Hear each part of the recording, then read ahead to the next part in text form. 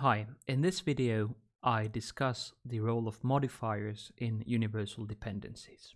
Modifiers are the third type of phrasal unit in universal dependencies which are used to refine the meaning of both nominals and clauses. Let's begin with nominals and define an example string with the text a very nasty comment and feed it to the language model that we stored under the variable NLP in the previous videos. We store the resulting spaCy doc object under the variable modifier underscore n and call the render function from the displacy submodule of spaCy to visualize the syntactic dependencies. This gives us a visualization of the syntactic dependencies in this nominal. As you can see, the head noun comment has an adjectival modifier, the adjective nasty, which in turn has an adverbial modifier in the form of the adverb very. Both of these modifiers serve to refine the meaning of the head noun comment.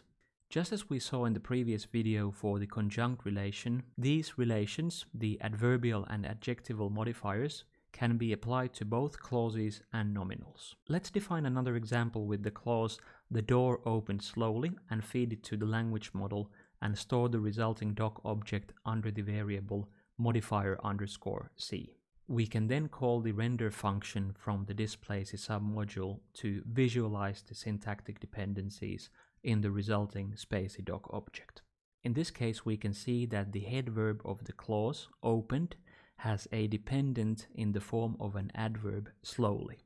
And as you can see, the same relation that is adverbial modifier is used to describe the relationship between the head verb and the adverb. Finally, clauses can also be modified by clauses, as exemplified, for example, by adverbial clause modifiers. In the next example, the door opened slowly without making a sound, which has two clauses. We can see an arc leading from the head verb opened to the verb making, which has the relation adverbial clause modifier. This illustrates how modifiers can refine the meaning of different phrasal units defined in the Universal Dependencies framework from nominals to clauses and their combinations. Thanks for watching. If you have any questions about modifiers in Universal Dependencies, feel free to leave a comment below. Thanks.